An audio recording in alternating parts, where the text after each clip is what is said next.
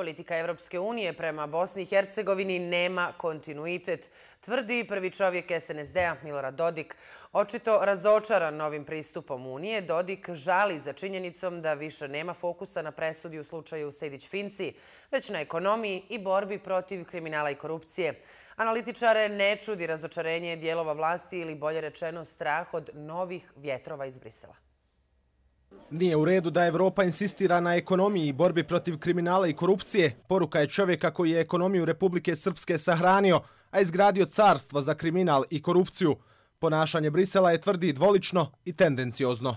Vidljivo je da Evropska unija mijenja pozicije po tom pitanju i danas insistira na nekim drugim prioritetima kao što je pitanja ekonomskog i socijalnog razvoja. Zaista kao jednim od ključnih pitanja koje nuči cjelokupno društvo, region, Dodik se očito nadao da će pažnja još dugo biti usmjerena na presudu, a ne na ono u čemu su rezultati njegove vladavine katastrofalni, ekonomiju i borbu s korupcijom.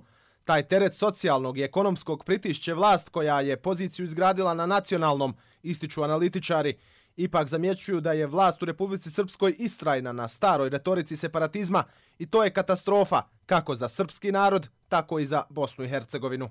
Mi u Bosni i Hercegovini moramo sa svih strana da gradimo državu kao jedno najvrednije zajedničko dobro i da nađemo najbolja rešenja i za nacionalno i za ekonomsko i za socijalno. Ja mislim da je ova priča o otporu gradnji zajedničke države samo pokriće za vlastitu ekonomsku nemoj separatizma i za velikim dijelom sav kriminal koji je napravljen da se ovo nemoćno socijalno na neki način prepere kroz nacionalno Novi pristup Evropske unije vlasti u Republici Srpskoj, ali i na drugim nivoima, doživljava kao najveću prijetnju, ističe Milojević.